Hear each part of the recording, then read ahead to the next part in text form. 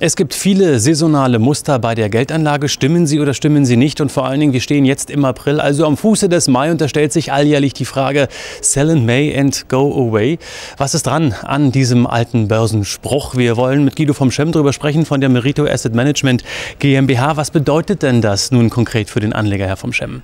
Ja, vielen Dank, Herr Franek. Also Sell in May and Go Away bedeutet zunächst, ähm, dass viele denken, über den Sommer tut sich wenig. Viele Händler sind im Urlaub. Äh, die Dividendensaison ist auch schon äh, fast vorbei.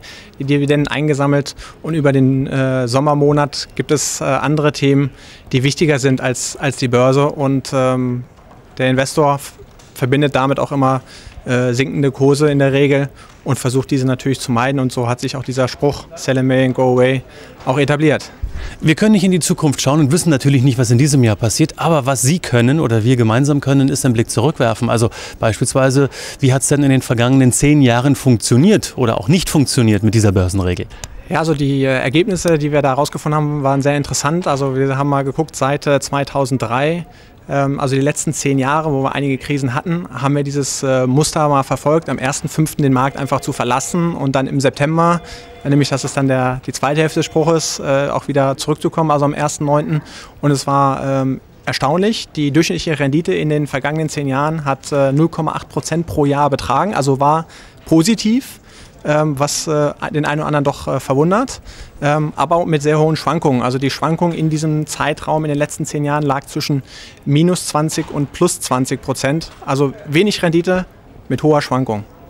Gibt es da eine Erklärung für? Haben Sie da eine Erklärung zumindest gefunden?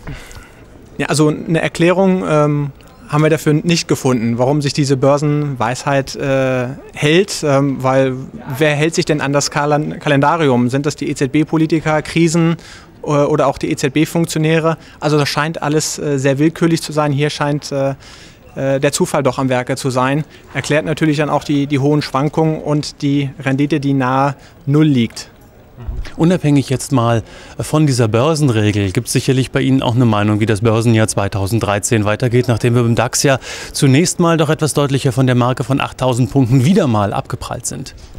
Ja, also auch äh, dieses Jahr sehen wir für äh, den Zeitraum von Mai bis September nicht zwingend steigende Kurse. Also äh, Hauptgrund dafür ist, äh, dass die Börsianer natürlich die Sicherheit lieben und äh, dann auch die steigenden Kurse ihre, ihre Kraft entfalten können. Aber wir haben das Thema Italien, die äh, der äh, Präsident, der noch gewählt wird, also die politische Unsicherheit und natürlich auch in Deutschland im September steht hier die Bundestagswahl an.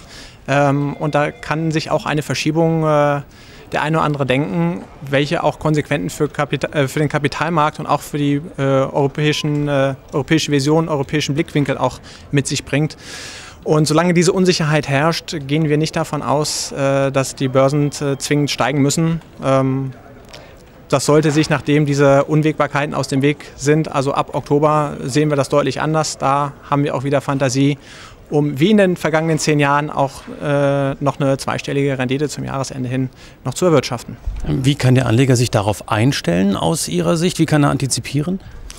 Ja, also momentan, ähm, wenn er äh, investiert sein möchte, was sagt, ist nicht zwingend äh, notwendig, aber wenn er investiert sein möchte, es gibt noch ein paar äh, interessante Unternehmen, die noch eine ordentliche Dividendenrendite haben, die noch im Mai ausschütten, die kann man sicherlich noch mitnehmen.